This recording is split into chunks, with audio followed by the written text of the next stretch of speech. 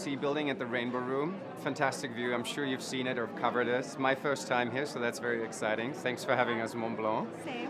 And uh, we're here for the 110 uh, year anniversary collection. So Olivia and I are both excited to see what the you know the bus is about. Consistency.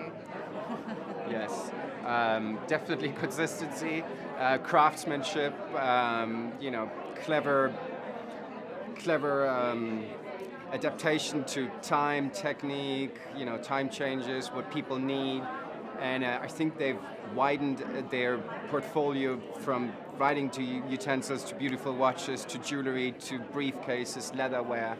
Uh, obviously, they're doing a fantastic job, otherwise, they wouldn't be uh, around for such a long time and so successful worldwide. I'm very much excited to see it. I want to see the whole collection. I would love to see the jewelry, the timepieces, and definitely the pens, since I write with mine all the time.